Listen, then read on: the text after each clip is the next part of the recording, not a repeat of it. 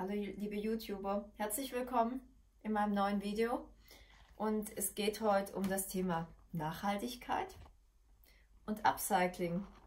Ich zeige euch heute nämlich, wie ich aus dieser Dose, die eigentlich im Müll landen würde, eine schöne Vase mache, in der ich ein ganz tolles Sträußchen verschenken kann.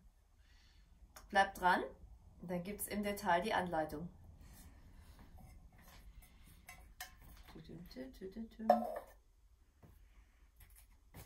Also, heute ist wieder ein schönes Grasvideo. Es ist Sommer und Grasarbeiten, ich liebe Grasarbeiten. Ich habe nämlich ganz tolles, saftiges, schönes Gras geschnitten. Und ich habe auch in mein, letzte Woche in meinem Video, habe ich auch eine, eine sehr schöne Grasarbeit gezeigt. Mache ich den Videolink nochmal rein. Da habe ich aus einer kleinen Glasflasche, die man hier drunter erahnen kann, eine, auch ein sehr schönes Gefäß, eigentlich eine Form von Vase gemacht und auch noch mit Hilfe von Drähten habe noch dieses Gras in einer Schwungform gebogen. Das ist also auch eine tolle Sommerarbeit. Videolink mache ich rein und da habe ich jetzt so einen schönen roten Schmuckdraht genommen. Und äh, heute habe ich gedacht, Glasflaschen muss man nicht alle wegwerfen, die kann man eigentlich ganz toll verwenden. Und ebenso muss man eigentlich auch Dosen nicht alle wegwerfen. Und ich wollte gern meiner Freundin ein schönes Sträußchen schenken und ähm, da die äh, ja nicht zu Hause ist, wollte ich ihr eigentlich auch gerne eine Vase schenken, aber ich wollte jetzt eigentlich nicht so eine Glasvase dazu nehmen, das ist irgendwie langweilig. Ich hatte so im Sinne, dass es was Pfiffigeres ist. Und dann kam mir die Idee, habe ich zu Hause was gekocht, habe die Dose, ja, das Papier abgezogen und ähm, Sträußchen habe ich natürlich schon gemacht, das Papier abgezogen und habe beschlossen, dass ich aus dieser schönen Dose einfach eine Grasdose mache war jetzt so. Ja, dazu habe ich, ähm, immer von Floristik24 gibt es ja diese wunderschönen Drähte. Ich liebe diese, ach, diese kräftigeren Drähte. Ich liebe auch diese leuchtenden Farben. Ich finde die ganz, ganz toll. Und ich habe beschlossen, da jetzt hier ja auch Sonnenblumen mit drin sind in meinem Sträußchen, dass ich äh, einen gelben Draht nehme, den man auch schön sieht, der ein bisschen leuchtet. Also eben nicht nur diesen grünen Myrtendraht.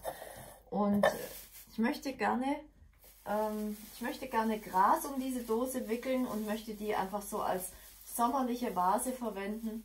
Die Frage ist immer, wie geht man das also an? Ich habe jetzt schönes Gras geschnitten.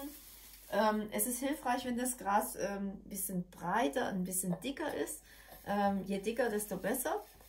Und, Moment, nein, andersrum. Ich möchte auch wie auf der Wiese sollen die, die Grashalme unten, also nein, die, die, da wo ich es abgeschnitten habe, unten und da wo das Ende ist, das soll oben sein. Ja, das finde ich schöner äh, von der Regelmäßigkeit her.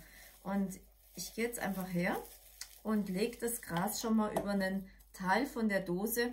Da jetzt meine Finger nicht so groß sind, dass ich um diese Dose rumfasse, bei weitem nicht, ähm, nehme ich den Draht, lege leg einfach mal hier meinen mein Mittelfinger über den Draht drüber, um den zu fixieren und wickel einfach schon mal, ich sag mal so zwei, drei Umdrehungen, wickel den Draht fest und dann nehme ich das Ende und meine Rolle so, und verdrehe, das muss man alles ein bisschen festhalten, so und verdrehe den Draht miteinander. Ja, habe also so eine, hier so eine Stelle, wo der jetzt fest ist.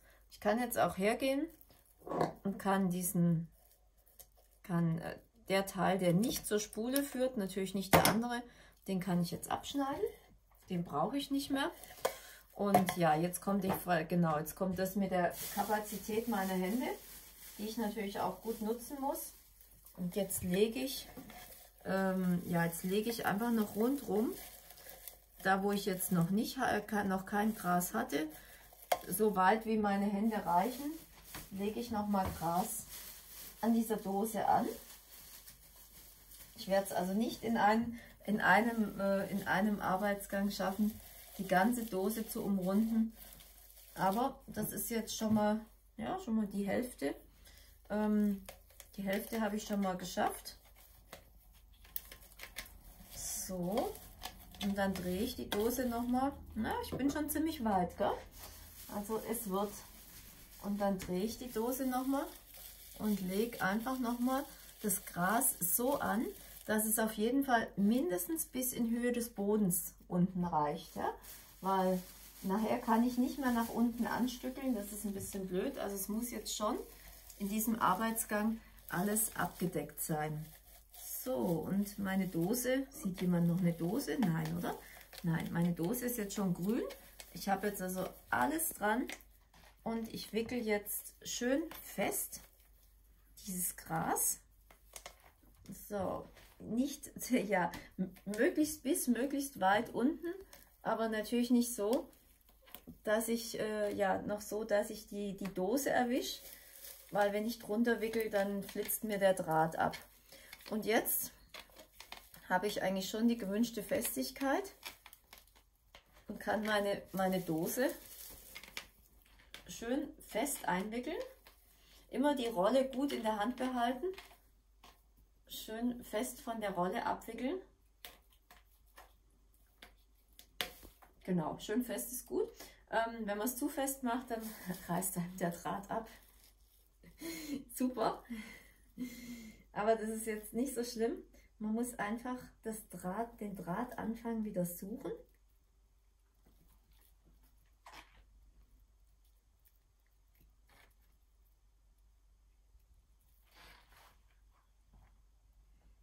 Wieder mal was zum Schnibbeln. Ist nicht so einfach mit Treten, gell? Mhm. Mhm.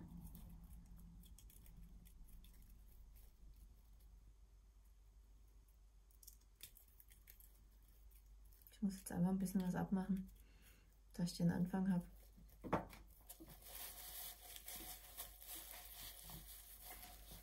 Also wenn dir sowas passiert, nicht verzagen, einfach noch mal ein bisschen aufmachen einmal mit dem Daumen eine Schlaufe machen und mit dem Draht von der anderen Seite wieder rüberkommen und schon hat man, ein, hat man von zwei Seiten, von einem die Schlaufe und von der anderen Seite das einfache Stück und der Draht, der Draht ist schon mal, schon mal fixiert. So, jetzt kommt die kurze Beschäftigung.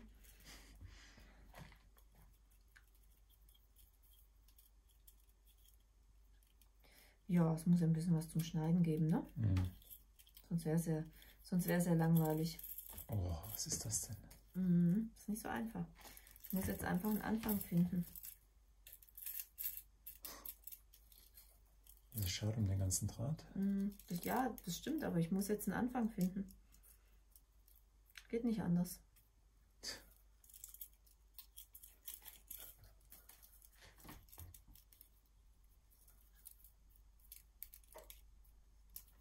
Ja, du siehst, mit welchen Problemen wir im Blumenladen kämpfen. Drahtrollen sind, sind so ein Hexenwerk. Oh, das ist echt brutal. Mhm.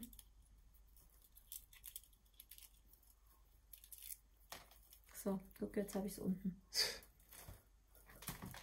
ist jetzt alles im Grunde, ja, das ist jetzt kein Drama, aber das schmeiße ich jetzt sofort. Da ist kein Bock drauf. So. Also, sollte dir der Draht, der Draht einmal reißen, wie ich es gerade geschafft habe, so, dann gehst du wieder her und wickelst wieder zwei, dreimal, zwei, drei Runden den Draht fest. So, die Dose dreht sich natürlich schön mit. So, jetzt haben wir also wieder, jetzt haben wir wieder den Draht fixiert. Ich wollte euch ja einfach berichten, wie ihr solche Probleme lösen könnt. Und äh, stand jetzt nicht ganz im Drehbuch, aber ist nicht schlimm. ihr wisst jetzt auf jeden Fall, wie das geht. So, und wir wickeln jetzt wieder schön unsere Dose. Ich fasse die mal, ich fasse die mal von innen an. Also ich habe noch ein Stück zu wickeln.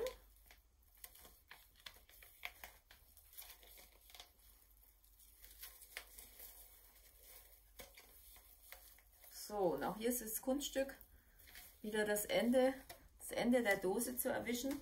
Und äh, diese schönen Wickeleien, also man kann das natürlich auch mit Heu oder mit Stroh im Herbst wickeln, aber es ist natürlich alles nicht so schön wie so knackiges, saftiges, grünes, frisches Gras von der Wiese. Das ist natürlich phänomenal. Und, äh, das, und man kann hier auch testen, wie weit kann ich gehen. Hier sieht man, ah, da kippt es ab. Da ist dann also das Ende meiner, meiner Wickelfläche. Und dann machen wir den Draht mal zu.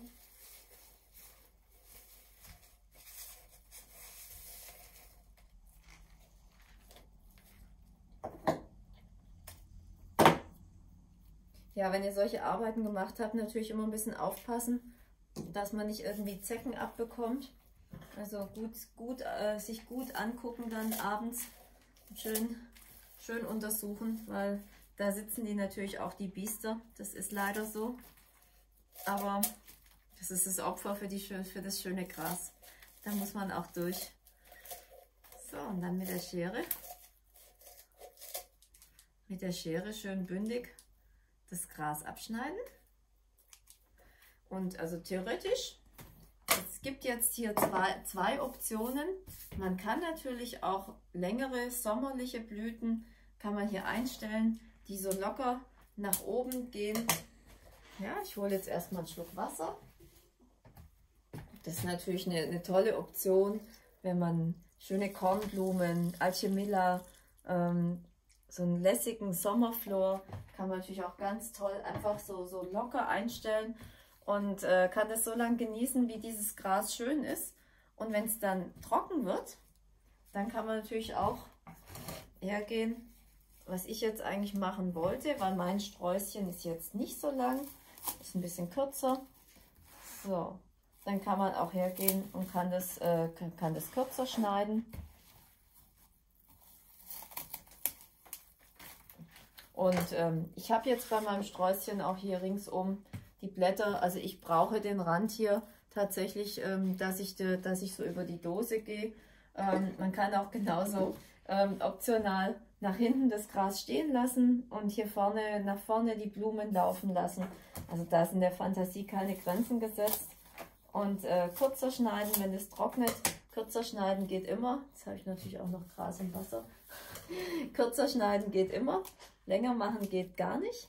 Ja, deswegen ähm, kann ich das jetzt einfach mal so als lockeren Grasrand ähm, stehen lassen. Und so ein paar kleine Schönheitskorrekturen sind natürlich auch immer, äh, muss man natürlich auch immer machen. Und optional könnte man auch noch ein schönes, äh, zum Beispiel ein schönes Organza-Band oder auch von der Dachwurz gibt es ja immer hier ähm, ein paar Blütchen, die abfallen. Kann man ein paar Dachwurzblütchen zum Beispiel draufkleben. Ja, da gibt es also viele, viele, viele Ideen. Oder was, was man auch sehr schön, was ganz toll hält. Ich habe das jetzt leider schon verarbeitet hier in dem Sträußchen. Zum Beispiel Strohblumen. Genau, ist schön nass. Strohblumen kann man auch hier wunderbar noch einfach aufkleben. Die halten auch ganz toll. Ja, das sind jetzt so, so kleine Spielereien, wie man diese Vase noch verzieren könnte. Aber das Ganze ist jetzt fertig und ich habe auch mein Sträußchen. Und ich setze dieses Sträußchen auf meine Grasvase und habe also mein schönes sommerliches Geschenk für meine Freundin damit fertig gemacht. Habe eine tolle Vase, total originell. Habe hab meinen Müll reduziert. Nein, aber es ist jetzt wirklich wunderschön verpackt. Und äh, ich denke, sie wird sich bestimmt total freuen darüber. Ja, ich hoffe, die Idee hat euch gefallen. Und die Drähte bekommt ihr von Floristik24 mit 10% Fanrabatt, aber nur mit dem Rabattcode Margit. Das schreibe ich euch auch nochmal rein. Und ich wünsche euch ganz viel Spaß beim Nachmachen und bei der Jagd nach schönem Gras. Bis bald. Alles Liebe von eurer Margit. Tschüss.